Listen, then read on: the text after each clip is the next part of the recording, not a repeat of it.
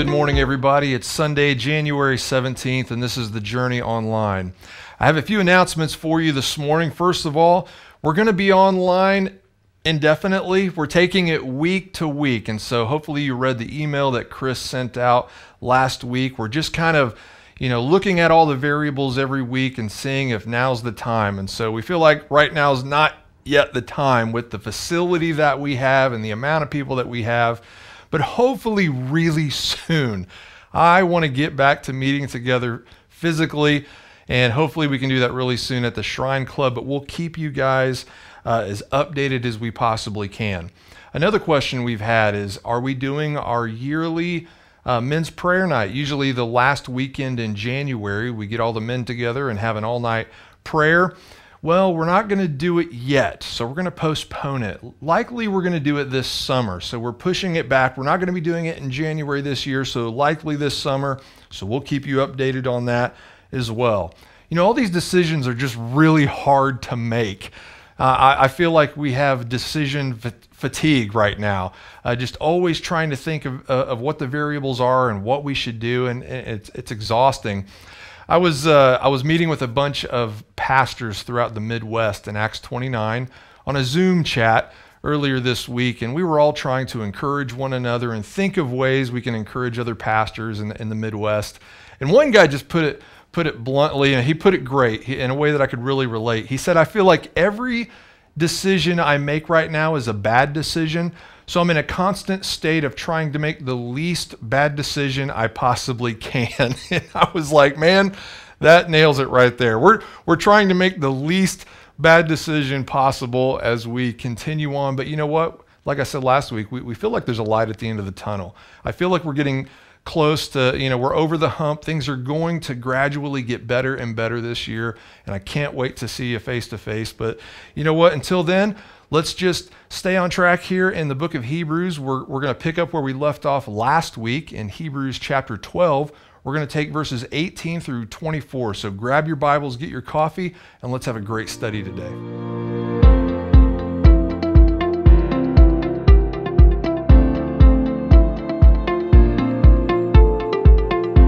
Well, every week when I craft a sermon, one of the major concerns that I have is how can I how can I encourage this congregation? How can I encourage listeners in their walk with Christ? And so uh, pastoral teaching and preaching, you know, it's it's not just about lecturing information into your brain. I want to uh, hopefully present the text in such a way that you are motivated, encouraged, inspired to, to keep, keep going in your faith. Don't give up on faith. Don't, don't lose hope. Keep repenting. Keep praying. Don't stop learning. Don't stop investing your time and energy into the kingdom of God. Because this, this God honoring path, it leads us somewhere. It takes us into an, an eternal destiny beyond what we could possibly imagine. So the stakes are so, so high. And so, this is the type of motivating message that we're reading in Hebrews chapter 12. And so, encouragement is like served up on a silver platter today for us here in verses 18 through 24. So, prepare to be encouraged. That's what we're studying today is encouragement. But all, all, all, these details about Jesus, about who he is and what he's accomplished, it's brought us to this point in the letter that, that, that he wants to speak to us hey, you have arrived and you are a part of a kingdom that cannot be shaken. And that's going to come up in the text next week. But what, matter of fact, if you, if you look at the, the paragraph we're getting ready to study, maybe the, the title is A Kingdom That Cannot Be Shaken. That's the title of this section of Scripture in my in my book. But even that title is encouraging. We are a part of a kingdom that cannot fail, that we are citizens of this kingdom. And so every kingdom we've ever studied in human history has failed. You know, kingdoms rise and kingdoms fall, and nothing lasts forever here, right? And even in the context of the letter of Hebrews, it's written under the reign of Rome. And, and it was inconceivable to even think of a kingdom like Rome not dominating the world forever. Uh, but, you know, Rome wasn't conquered in a day, but uh, Rome ain't the same, right? but so we are learning here that we are a part of a kingdom. We are citizens of a kingdom that cannot fail because it's rooted in heavenly realities. And that's a, that's a very common theme in the book of Hebrews, right? I mean, he's used this tactic before to teach us about faith. Like our faith is rooted in, in heavenly realities, not earthly realities. We have types and shadows of, of, of these heavenly realities here on earth, but not the real thing. And so we don't put our faith in any priest. We don't put our faith in any sacrifice or offering or, or temple ritual that can be carried out in order to be right with God. And Hebrews is really blunt about that. I mean, I think of uh, chapter 10, verse 4, where he says, It's impossible for the blood of bulls and goats to take away sins. Like, come on, man, what do you, that's not going to take away your sins. That's a type, that's a shadow to, to teach us about a heavenly reality, what we have in Christ. So our faith, right, is in the true things, as it says in, in Hebrews. And what the book of Hebrews means by the true things is it's, it's what's in heaven itself. Jesus is in heaven itself, and there he is our, our high priest in the temple not made with hands, right? It's the true temple of God. And he's there interceding in such a way that he is, he is putting away sin by the sacrifice of himself, as it says there in chapter 9. And this one sacrifice is for all time, it's entirely sufficient. He says in chapter 10 when, when Christ had offered for all time a single sacrifice for sins, he sat down at the right hand of God. And he goes on to teach us in chapter 10 that that single offering, he has, uh, with that single offering, he has perfected for all time those who are being sanctified. And so we have faith because of the true things, because of these heavenly realities. That's why our faith should be unshakable. That's why we can have assurance in what we believe. It's because it's rooted not in earthly realities, but in heavenly realities. Well, that's, that's the tactic that is being used in the passage we're going to study today. We are citizens of this kingdom of God that cannot be shaken, it cannot fail. It's because we're a part of a kingdom that transcends what we can see here on this earth. And so this passage is meant to be a breath of fresh air today. It's meant to be a, a breath of fresh air to encourage you. Maybe you're thinking, like, man, I could use some fresh air today. I'm not feeling uh, so great as a Christian right now. Maybe you're feeling a little, a little weary or a little frustrated. Maybe this walk with Christ is feeling a little heavy, a little burdensome as you try to try to live it out. Well, this this passage is meant to to calm you down and to give you a breath of fresh air and encourage you. So, first off, to understand it rightly, remember, let's think about the original audience. The original target audience was were these Jewish Christian converts. And so they, they were ethnically Jews, they, they grew up in Jewish culture, and they had embraced Jesus as this foretold Messiah. And so they had converted, in a sense, to Christianity.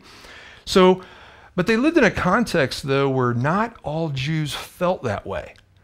And so there was a lot of turmoil, a lot of strife, a lot of struggle, and, and a lot of Jews were really upset that people were seeing Jesus as this prophesied Messiah. So if you were a Jew reading this letter, you, you were feeling kind of shaky.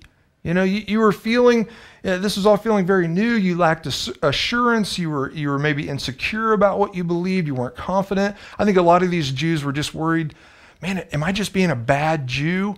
Not every Jew believes this. What, what do I do?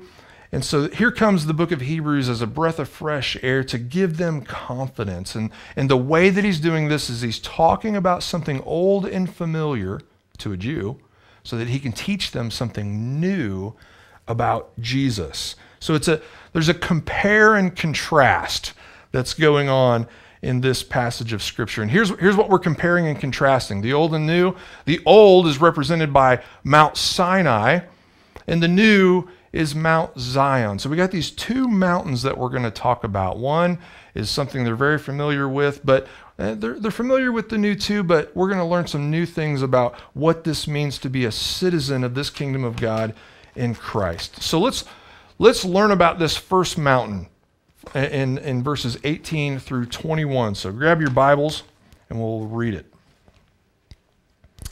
In verse 18, it starts by saying, For you have not come to what may be touched uh, a blazing fire, and darkness, and gloom, and a tempest, and the sound of a trumpet, and a voice whose words made the hearers beg that no further messages be spoken to them. For they could not endure the order that was given. Even if a beast touches the mountain, it shall be stoned. Indeed, so terrifying was the sight that Moses said, I tremble with fear. So here's this first mountain being described, and it's important to remember this first mountain is one that we have not come to in our faith in Christ. And, and, and that's a relief because this the image that comes to mind as we read that text, it's a scary scene, right? This mountain is intimidating, but it is one that may be touched because you can go there. This is Mount Sinai.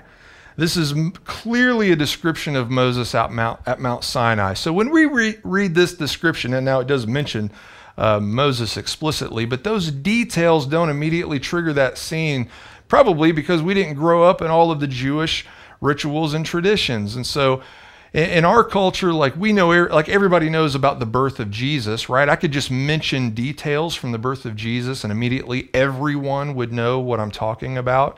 I could talk about shepherds and the Magi and Bethlehem and a manger. Oh, well, yeah, we know that that's the birth of Jesus. That's what's happening when you mix those ingredients together, right? Well, these Jews, they were familiar with Moses and Mount Sinai just like we are familiar with the birth of Jesus. And so when you would read to a Jew about a blazing fire and darkness and gloom and a tempest and the sound of a trumpet and a voice whose words made the hearers beg that no further messages be spoken to them. They'd say, Oh, yeah, I know what you're talking about. That, that, I immediately know what you're talking about. That's an old, familiar passage in, in, the book of Exodus. I, I would have grown up hearing about that every single year. That's 100% Mount Sinai. So now you can go do your homework, right? Every every week, I always encourage you to go brush up on these Old Testament references on your own. And if you want to do that, you can go read in Exodus 19, verses 16 through 19, and in, in Exodus 20 as well. You can also go to Deuteronomy chapter 4. But here's what's happening in that description. This is, this is a, a known theophany at Mount Sinai. This is just before Moses would have received the Ten Commandments. Now, I use the word theophany there. There's your $5 theological term for the day. A theophany, that's just a, a, theological term that references any, any physical manifestation of God or that represents God in the Old Testament. So, a burning bush, God speaking to Moses in a burning bush, well, that burning bush is not God, but that's, that's a theophany. God's voice came from that burning bush, and so God is communicating to his people through that means. And so, this is the theophany. This Mount Sinai, this, this description is the theophany at Mount Sinai. And it's a very intimidating uh, scene, a very intense moment in the book of Exodus. So Moses was bringing his people. He led, he led them out of, led God's people out of slavery. They had wandered in the wilderness some, and there they ended up at Mount Sinai. And they were getting ready to meet with God there. They were being consecrated. And so they were preparing for a few days leading up to this moment in which they were going to go to the foot of Mount Sinai and engage with their Creator. And so what they did was they went through these cleansing rituals. They would put on brand new garments. Even the guys, here a, quick detail, even the guys weren't even allowed to sleep with their wives, if you know what I mean, uh, because all of the attention was to be on this coming meeting with God there at the foot of Mount Sinai. And so when they get there to engage with God, what happens is this frightening moment with a blazing fire, as it says, darkness and gloom and a tempest. It's like a storm. And so this storm covered the top of the, the mountain, and there was a fire there. Uh, the, the top of Mount, Fi- uh, Mount Sinai was on fire. And so there was lightning and thunder, chaos. Then it says there was the, this deafening sound of a trumpet that was getting louder and louder. Now, were there literally trumpets being blown there, or was this describing something more supernatural that was taking place? Well, that's the kind of thing that scholars love to debate and talk about, and, I'm not sure. You can go read about those debates. Uh, I'm leaning towards something more uh, supernatural than literal trumpets being blown, but hey, we're, we're also given the description of this moment with smoke and fire. Obviously, the top of Mount Sinai, it's a blazing fire. Later, God is described as a consuming fire in, in this chapter. But that smoke is there with the storm and the clouds. It says when you go back in Exodus that the whole mountain trembled greatly. There was like an earthquake. The, the ground is moving. And, and again, these trumpet sounds get louder and louder, this, this crescendo of, of a moment with God. And so Moses is even speaking to God, and it says that God answered him in thunder. So it wasn't one of these moments where, like, oh man, I, I think I think God might have spoken to us today at Mount Sinai. it was, it was obvious. Like God spoke to them in thunder and lightning, even, and, it, and it, was, it was radically clear. But the, this message, or this moment at Mount Sinai, it sent a clear message to God's people. It was very clear. It was that the presence of it was the presence of God Himself there at Mount Sinai, and the message was clear: Do not approach me. Do not approach God. God is perfectly holy, and you are not worthy of his presence. So don't even get close to Mount Sinai. Even if a beast touches the mountain, it shall be stoned. It was very, very important for God's people to know that there was a difference between him and them, right? And that difference is that he is holy and his people are not. Even Moses, even the one who who interceded for God's people there and went up on that mountain, he was trembling with fear, it says. Imagine how cautious, after that hectic moment, imagine how cautiously Moses must have uh, uh, ascended that hill to go interact with God and receive the Ten Commandments, to receive the law then. So that's what this mountain represents. The mountain that we have not come to is Mount Sinai. That's the mountain of the law. Now, the law is good, but the purpose of the law is to make it really clear that we are sinners and God is perfect. That's how Paul puts it in 1 Timothy chapter 1. He says it this way the, the law is not laid down for the just, uh, but for the, for the lawless and disobedient, for the ungodly and sinners, for the unholy and profane. In other words, we weren't given the law because we were perfect, right? We wouldn't need the law if we were perfect. Uh, we're, we're given the law because we're not. And so the law, as, as God, God's people try to live up to the law, and as we try to live up to the law morally, it becomes clear in a hurry that we have fallen woefully short of the glory of God. You are not worthy of his presence. That's what the, that's what the law teaches us. We are not worthy of his presence. That was the purpose of the moment of Mount Sinai. So, right now, you might be thinking, hey, I thought this passage was supposed to be a breath of fresh air. This is not fresh air. This is not feeling good right now. Where's the fresh air? When is that part coming? Well, that's coming next because there is another mountain that we're going to learn about here in this passage. And this is the mountain that we have come to. Let's read about it here in 22 through 24. He says, But you have come to Mount Zion and to the city of the living God, the heavenly Jerusalem, and to the innumerable angels in festal gathering, and to the assembly of the firstborn who are enrolled in heaven, and to God, the judge of all, and to the spirits of the righteous made perfect, and to Jesus, the mediator of a new covenant, and to the sprinkled blood that speaks a better word than the blood of Abel.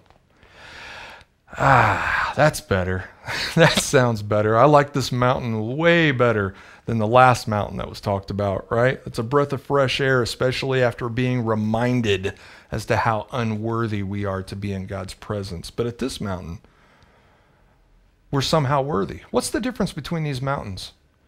Well, the, when, when King Solomon built the temple in Jerusalem. And, and Jerusalem and Zion, those words are, are like synonymous for one another. So this is Mount Zion. You would have th- immediately, that, that is Jerusalem.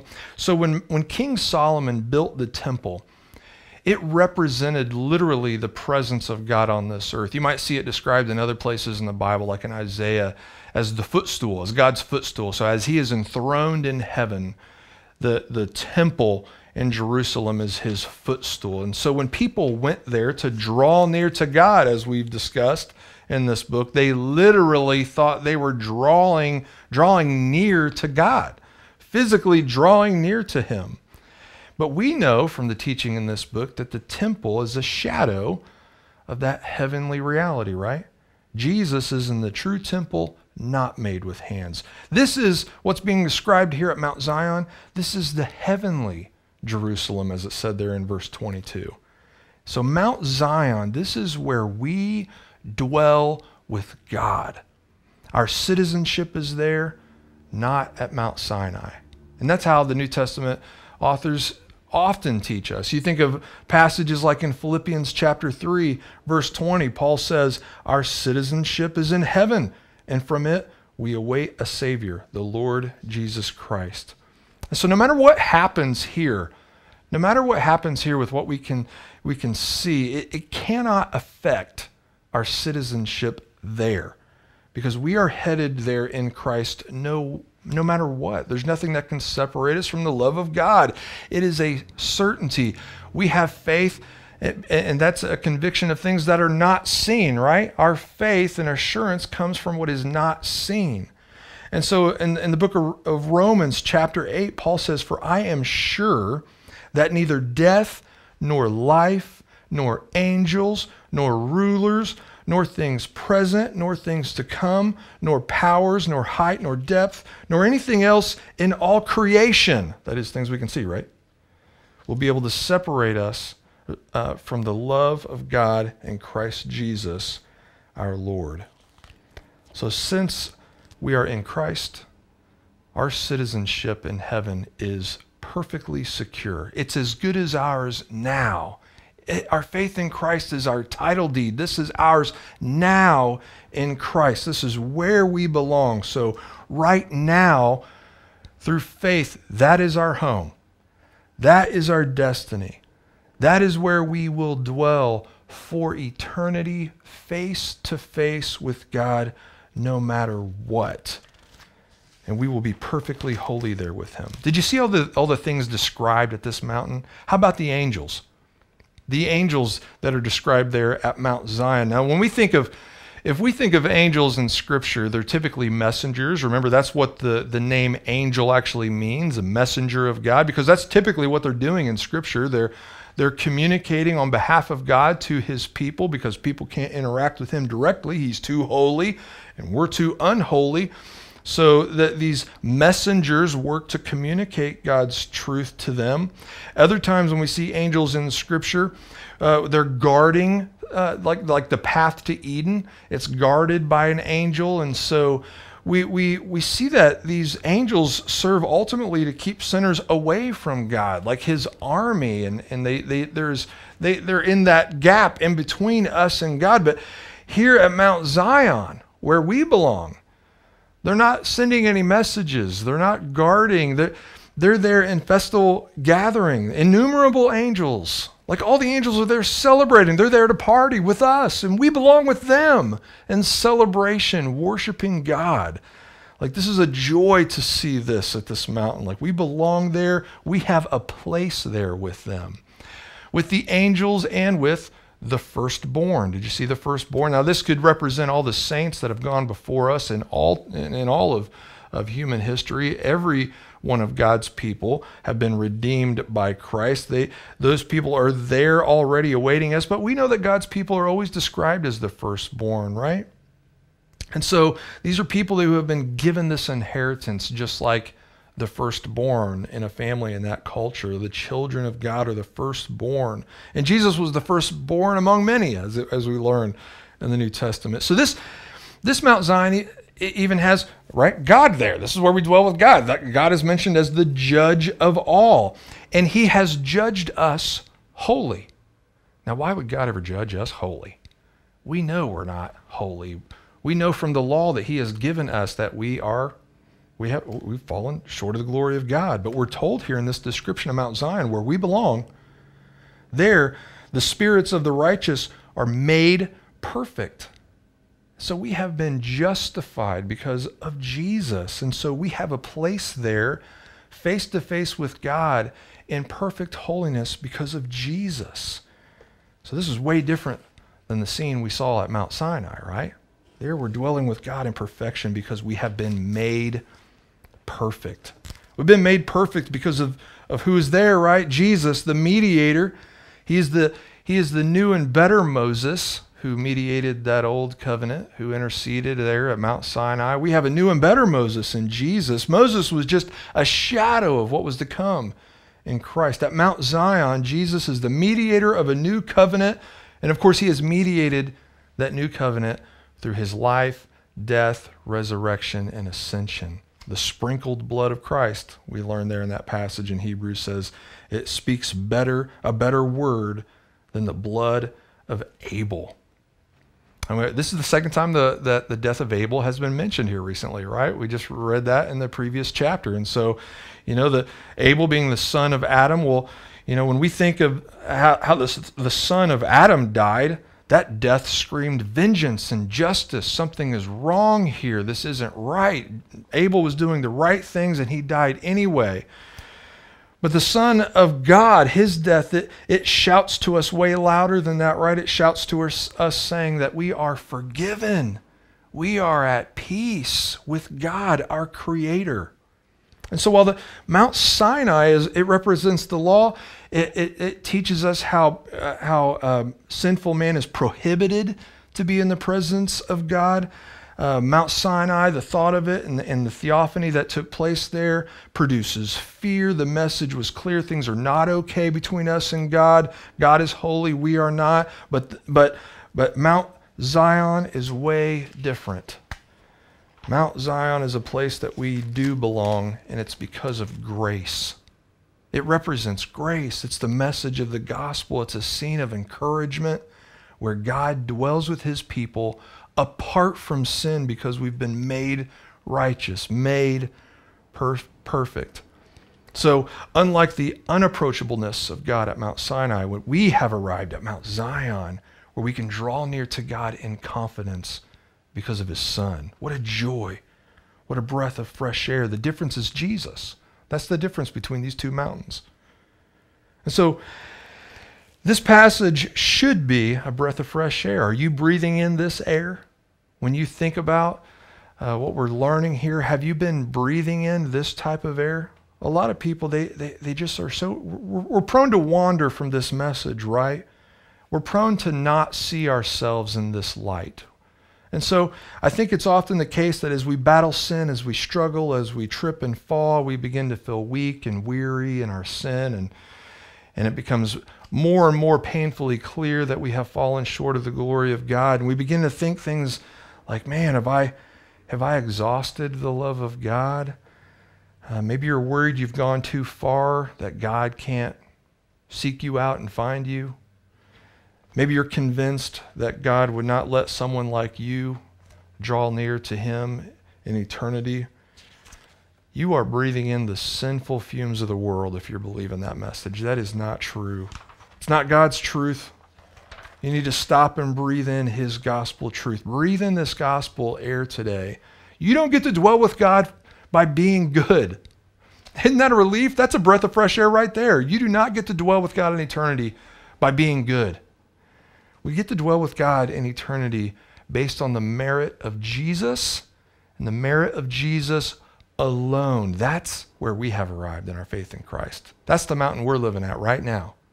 That's the mountain that represents the gospel of Jesus Christ. And so get back up on your feet. All right, get back up on your feet. Take a deep breath of this gospel air. Lay aside that sin, and let's get on to where we belong. Let's pray. Lord, we thank you so much for the teaching in this amazing book. We thank you for this analogy of these two mountains so that we can know that where, where we have arrived right now as your children uh, through your Son and where we are headed. We understand that we are citizens of this heaven, heavenly reality right now, and we have something to look forward to. We have reason to, to get up and get a move on and keep, keep getting back up after we fall down because, Lord, we know that our citizenship has been secured and the journey is worth it, Lord, and may we live it out all to your glory. And Lord, help us to do this uh, all to your glory alone. It's in your name we pray. Amen.